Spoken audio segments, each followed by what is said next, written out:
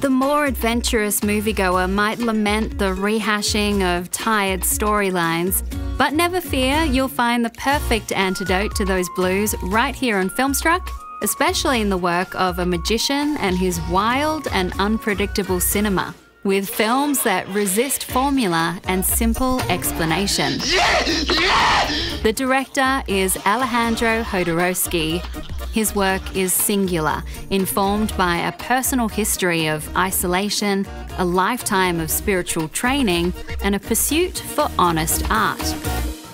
Jodorowsky was born in a small town in coastal Chile and throughout school he suffered torment at the hands of classmates who mocked his Jewish heritage. But growing up as an outsider cultivated his imagination, and soon he was writing poetry, performing on stage, and looking for the fastest ticket out of town. Este país es una isla. Me despido. Voy a París. Inspired by the theatre and pantomime, he longed to study with legendary performer Marcel Marceau. He moved to Paris in the 50s, which was ripe for avant garde, and pretty soon Jodorowsky fell in with a company of mimes, clowns, poets, and surrealists eager to share their wild visions. They soon led the charge, founding the Panic Movement in the early 60s.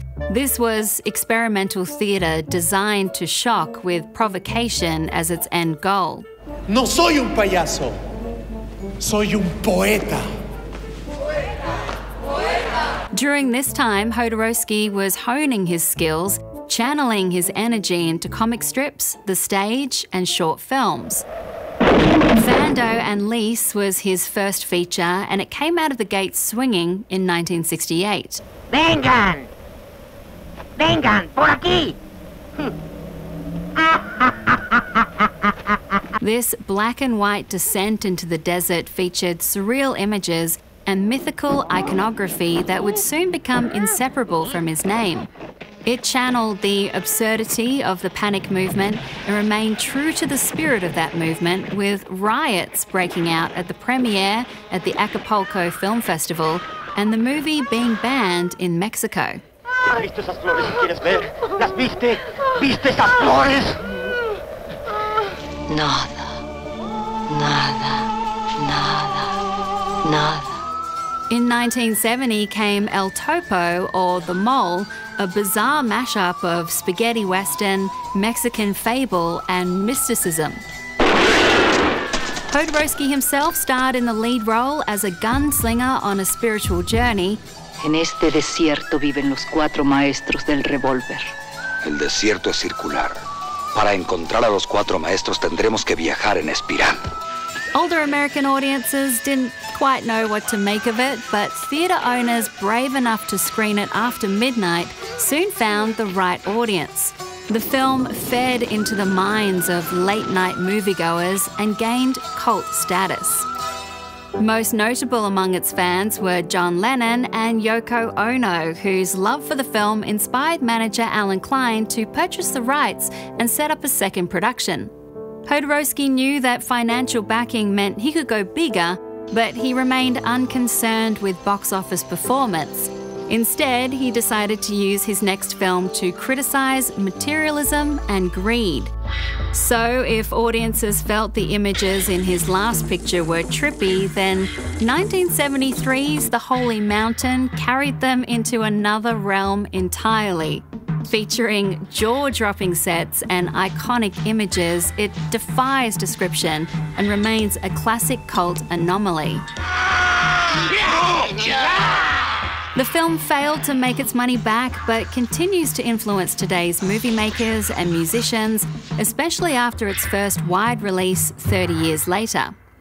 A legal battle with Klein and the now notorious attempt to bring an adaptation of Frank Herbert's Dune to the big screen pushed Jodorowsky away from the business for over two decades. Instead, he devoted his time to writing comics and developing a self help therapy called Psycho Magic. This therapy focuses on healing traumas passed down through family, drawing from tarot readings. Psycho Magic is also key to understanding his work as an artist. In 2013, he directed The Dance of Reality, a colourful and fantastical take on his early childhood. La oscuridad se lo está tragando todo. Nos va a devorar.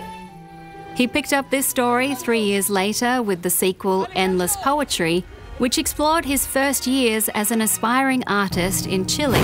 Poesía, alumbrarás mi camino como una mariposa que arde. These late career entries were much more accessible than his earlier films, but just as magical and confounding, and prove that the director hasn't slowed down. Necesito ayuda. Pecador. Cura de mierda. Jodorowsky turned 89 in February and remains a rare breed. For his more recent films, he turned to Twitter and crowdfunding, explaining that in return he would provide his backers with spiritual money and the chance to participate in something outside the realm of today's soulless movie making machine. El dinero es como la sangre, da la vida si circula. El dinero es como el Cristo, te bendice si lo compartes. El dinero es como el Buda, si no trabajas, no lo obtienes. As he once said, in every moment, something magical happens. ¡Qué maravilla!